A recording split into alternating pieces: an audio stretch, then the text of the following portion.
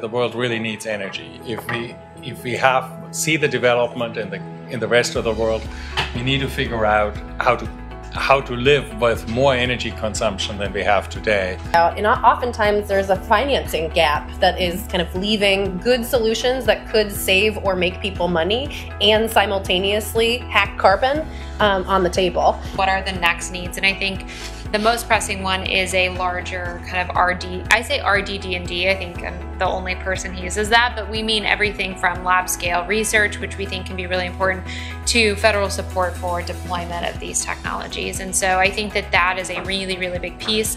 I think that um, getting a carbon tech market up and running is really important, right? Having some sort of value for CO2 makes a big difference. So we've got to accelerate this Tony, uh, what is your experience about accelerating and bringing this to scale? Well, to me, the the challenge here is is less the technological innovations and much more directly on the scaling mechanisms, the business model things that allow us to do scaling.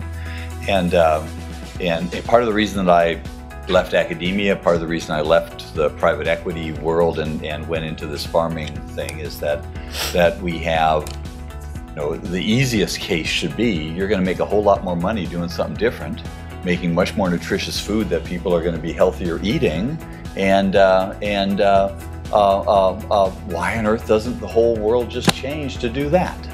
You know, it's it's it's kind of a no-brainer. So we said, okay, we want the ones that are going to be attractive to follow on commercial investors, so they have a real chance of getting to scale.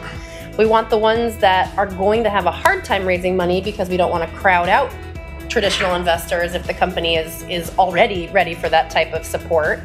And we want the ones that are going to make a really, really big difference on greenhouse gas emissions. I'm not against mitigation, quite the contrary, we need that too.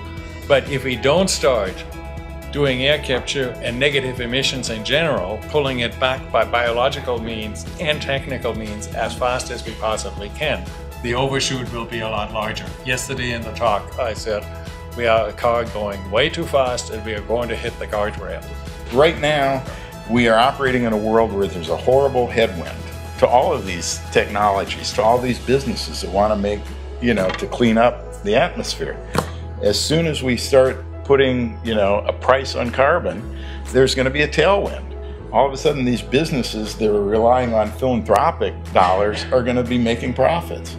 And, and you know, uh, there's 7 billion economic agents out there, whether they're consumers or producers or entrepreneurs or investors or philanthropists. And all of a sudden, they're going to be moving in the right direction rather than moving in the wrong direction. It's, it's, it's black and white.